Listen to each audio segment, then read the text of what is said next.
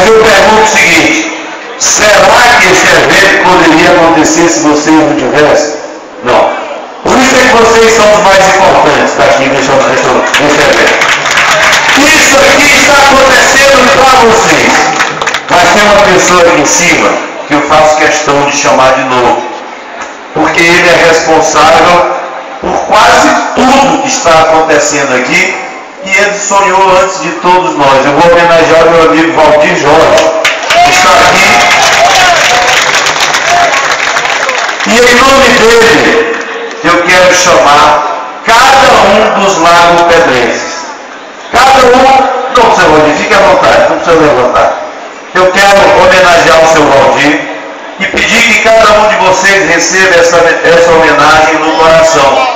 Este homem sonhou durante muitos anos o que está acontecendo agora, como vocês sonharam também. Este homem mostrou que Lago da Pedra poderia ser como efetivamente hoje é uma cidade melhor. O Valdir lutou a vida inteira para que a cidade recebesse esta obra hoje. E a ele, a nossa gratidão, a nossa homenagem pela sua luta e pela capacidade de esperar. Ele esperou, mas o sonho foi realizado. Vocês esperaram, estão realizando um sonho hoje. Meus amigos e minhas amigas, hoje eu vou assinar daqui a pouco a qualidade de secretário de infraestrutura do Estado e representando a nossa governadora Rosiana Sarney, eu vou assinar a ordem de serviço para começar. Eu não vim aqui fazer promessa, eu vim começar ali. Atrás daquele paredão, vocês já encontram 13 máquinas e equipamentos rodoviários para começar a obra. E eu quero fazer logo um pedido para vocês.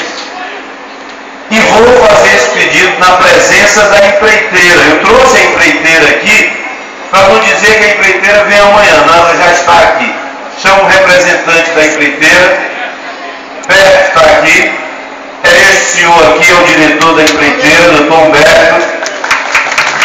O nome da empreiteira é Deconcil.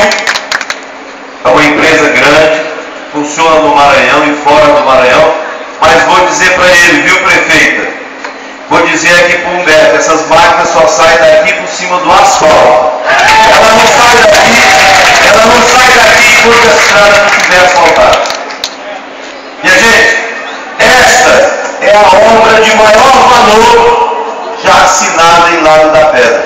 66 milhões de reais, 65 milhões de reais. 66 quilômetros de estrada ligando a cidade mãe à cidade filha. Olha como é emocionante. Mas aí, eu mandei fazer um projeto e eu tenho que prestar uma homenagem aqui para a Maura.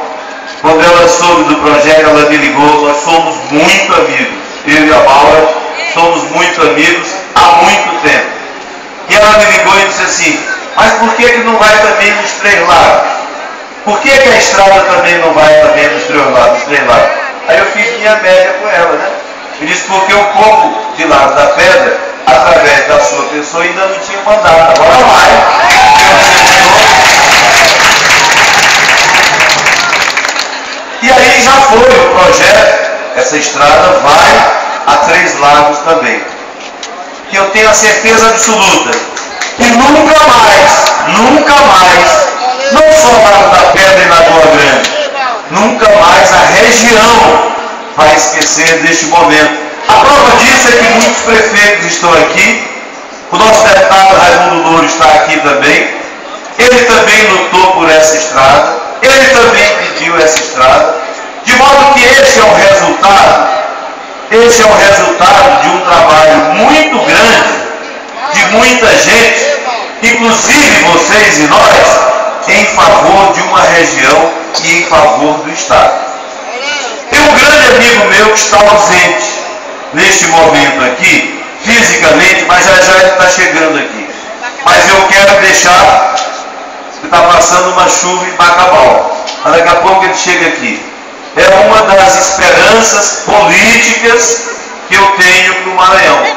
É o Deco Evangelista, o meu amigo deputado Deco Evangelista.